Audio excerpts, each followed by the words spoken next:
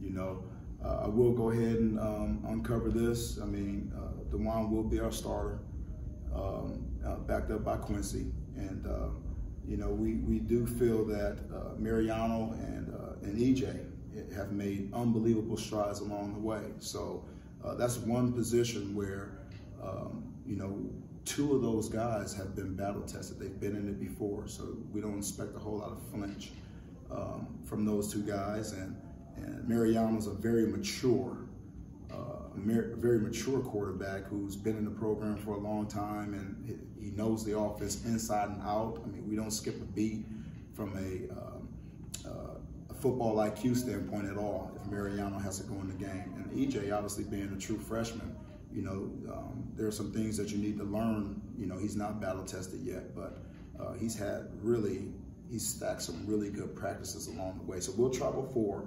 Uh, we'll, we'll, we'll, we'll go with the one, you know, but again, as a culture, um, if you're labeled a starter, uh, it's your job to, to keep that keep that status. You know, every day we're going to go out and we're going to compete, and you can keep it one day, you can lose it one day, and, and, we don't want to necessarily rattle their cages, but we want to make sure that we're still sharpening each other's tools, uh, that we continue to to get better along the way.